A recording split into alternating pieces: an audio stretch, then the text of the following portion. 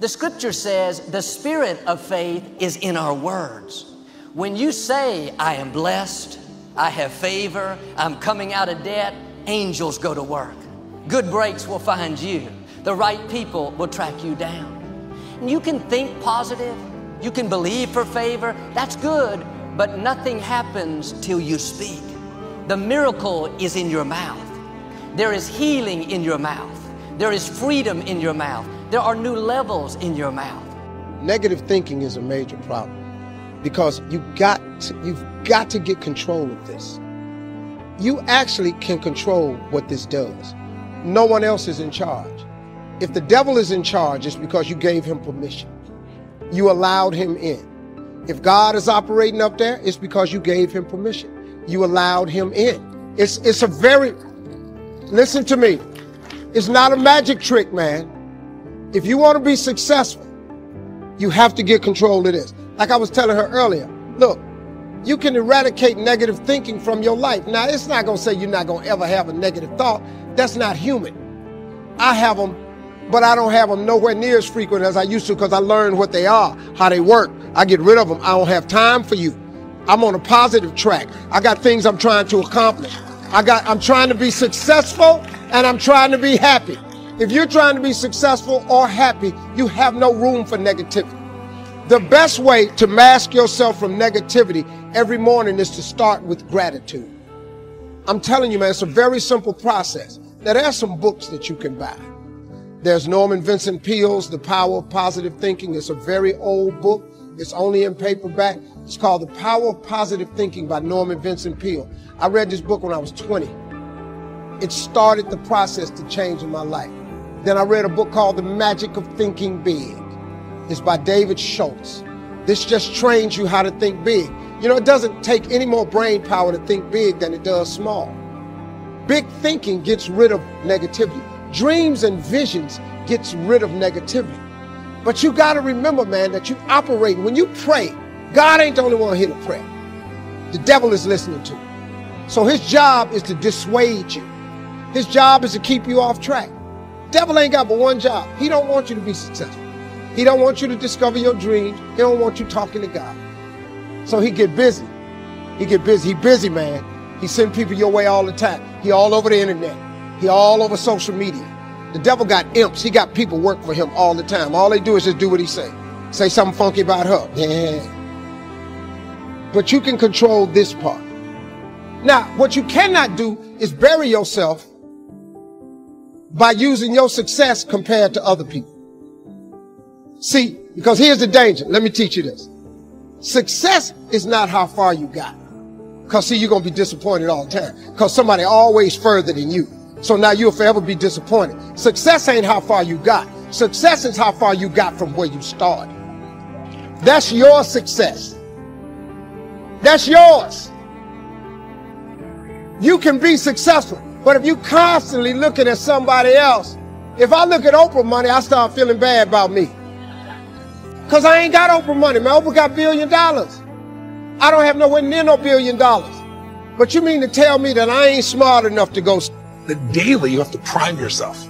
You have to do something for 10 minutes minimum. If you don't have 10 minutes, you don't have a life.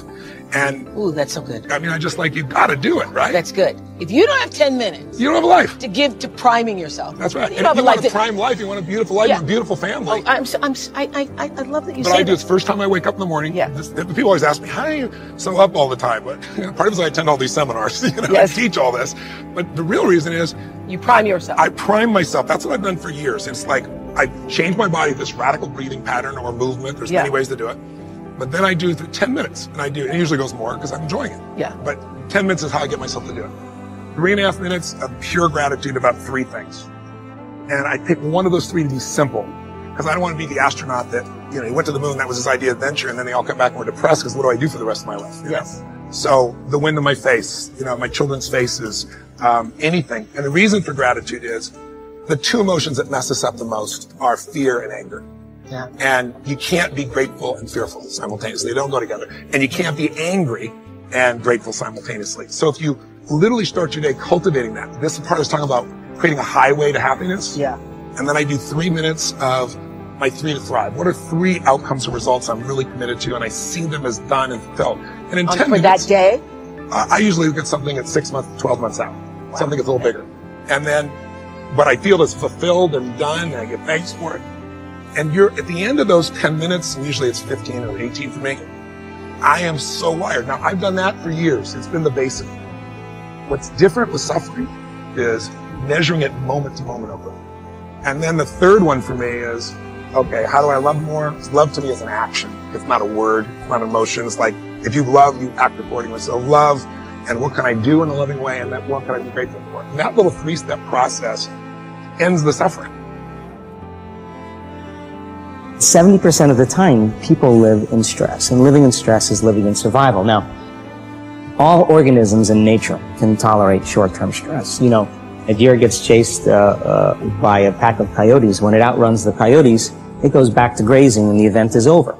And the definition of stress is when your brain and body are knocked out of balance, out of homeostasis. The stress response is what the body innately does to return itself back to order. So you're driving down the road, someone cuts you off, you jam on the brakes, you may give them the finger, and then you settle back down and the event is over and boom. Now everything's back, back to normal. But what if it's not a predator that's waiting for you uh, outside the cave, but what if it's your coworker sitting right next to you? And all day long, you're turning on those chemicals because they're pushing all your emotional buttons. When you turn on the stress response and you can't turn it off, now you're headed for disease because no organism in nature can live in emergency mode for that uh, extended period of time. It's a scientific fact that the hormones of stress downregulate genes and create disease, long-term effects. Human beings, because of the size of the neocortex, we can turn on the stress response just by thought alone. We can think about our problems and turn on those chemicals. That means then our thoughts could make us sick. So if it's possible that our thoughts could make us sick, is it possible then our thoughts could make us well? The answer is absolutely yes. all of you have targets, things that you're after. If you're going to get a new result, if you're going to grow your business, if you're going to be able to support your mom, if you're going to get rid of the anxiety, if you're going to be able to overachieve and not have all that fear inside of you, you obviously need to get a new result. You're going to have to get new action. We all know that. You don't get new results with old action. What human beings can do is amazing. What they will do is usually disappointing. It's not because we're not capable of it. It's because we don't have new actions because we get in certain emotional states that dominate us, like anxiety, like fear of failure. So if you're in a state of fear, you're going to behave very differently and get very different results than if you were in a place of being courageous or bold or warm or connected or playful, any of those. So the most important key to changing your life in any situation is to change results, you got to change behavior, but to change behavior, you got to change the emotional state you're in. The fact is this. You are playing the program 95% of the day, meaning your life is a printout of your program. Anything you're struggling to try to accomplish, whether it's health or love, uh, relationships, whatever it is, if you're struggling, it represents a simple fact. Your subconscious programming doesn't support that conclusion. So the fact is, what are my programs? Look at your struggle. And wherever you're struggling, the struggle is not because the universe won't provide for you. The struggle is an internal job. The struggle is you're trying to overcome previous programming that prevents you to go to that destination. So the wonderful part about this understanding is you don't have to, to review your life. You can look right now at this one moment, just look in your head and say, what are the things that I keep trying to get and they, they seem to be elusive. I can't get them. They're always out of reach. I say, the, the universe is not holding back. It's your own invisible subconscious behavior. And once you understand where the issues are and you start to really focus on the point that it's not the universe that's providing the trouble, it's myself, you have the first inclination, the first idea, the first understanding of how to change your life because now you know exactly what issue is confronting you. You can change the programming. You can rewrite your subconscious programs. If you took the wishes and desires of the conscious mind and use that as a program to put the beliefs into the subconscious mind, it's the most exciting and liberating thing you can ever do in your life. You know why? Because once it's in the subconscious program, 95% of the day without you even thinking about it, your mind will take you to that direction. And that is your freedom.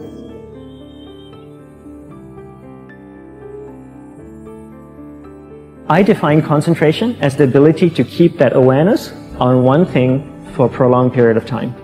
So if I can keep my awareness on Eric and not drift away and think about the wedding, or drift away and think about the vacation, or what I'm going to do later, then I'm concentrating on Eric. Every time it drifts away, I bring it back. And the more I practice this, the more I practice concentration. So concentration is the ability to keep your awareness on one thing for a prolonged period of time.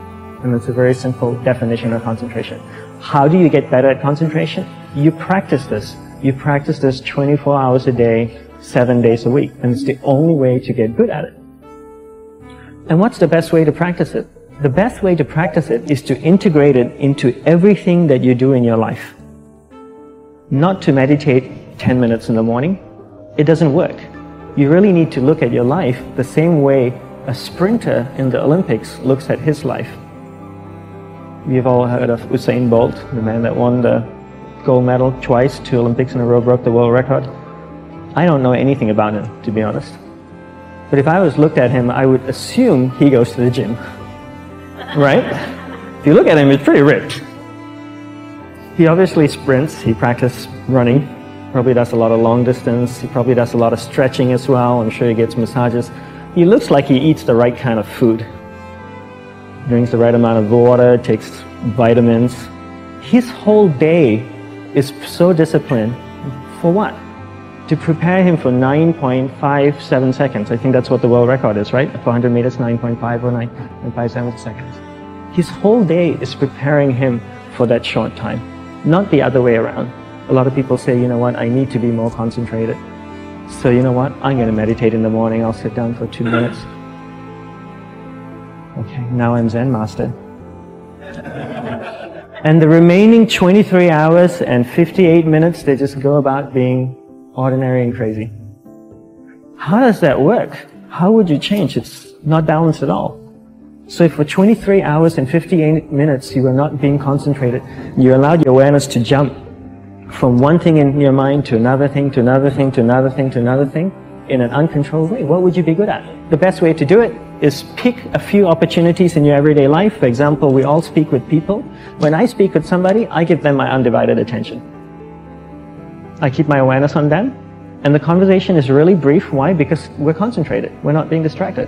A 10 minute conversation normally just takes three minutes because you're just so focused.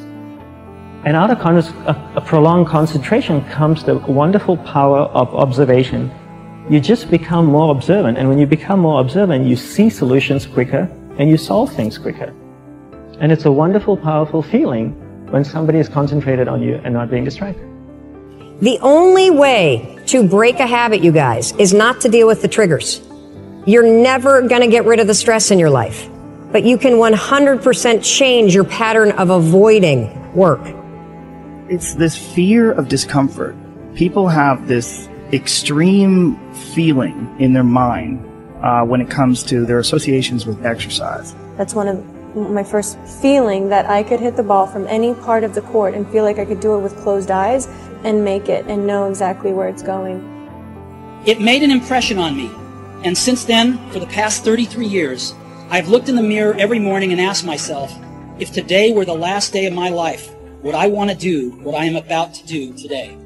If you try and change yourself according to thinking that, oh, I'm going to a different country or, you know, I need to please or I need to um, not be alien enough or you're overthinking it. So that's that one voice. This other voice that we walk very far away from is the voice saying, hey man, you ain't doing shit. So what you have to do first is turn up this voice over here. The voice saying things to you that aren't nice. Your body is like a race car that you can juice up yourself. Like you can add the fat tires, you can add the improved suspension, you can beef up the horsepower in the engine. You can do all that yourself. You have to be open to understand and accept the fact that you won't know everything. Right. And people won't know everything about you. So it's an education. I'm enjoying so much. you have to accept your uniqueness. Yeah, I want to do things that people are like, oh, she's doing that too.